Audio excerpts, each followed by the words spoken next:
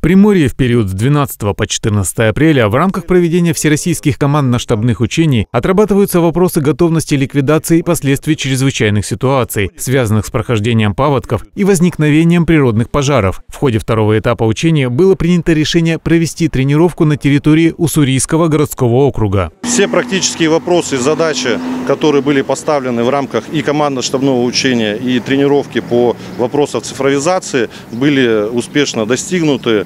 И, соответственно, констатируем факт, что Приморский край наряду 28 субъектов Российской Федерации, которые э, сегодня принимают участие в данной тренировке, э, готова к переходу на цифровой формат предоставления гражданам услуг по оказанию финансовой и материальной помощи. Стоит отметить, что в 2020 году МЧС России вышла с инициативой по организации цифровизации процесса оказания финансовой и материальной помощи гражданам, оказавшимся в зоне чрезвычайной ситуации, после чего в начале 2021 года была подготовлена, одобрена и утверждена дорожная карта по реализации этой задачи. Естественно, мы поддержали МЧС э, в их инициативе по цифровизации.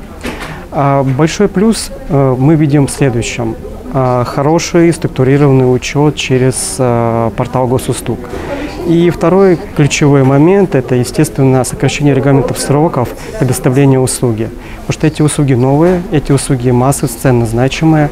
Сейчас Минцифра России на это уделяет большое внимание, правительство Российской Федерации уделяет большое внимание. Так, на практике были отработаны способы подачи заявлений населением на возмещение ущерба. Были проведены практические действия в трех учебных точках. В пункте временного размещения, привлечение специалистов МФЦ Уссурийского городского округа и подача заявлений с использованием мобильных устройств в администрации Уссурийского городского округа. Олег Завьялов, Анна Дьякова. Новости на восьмом.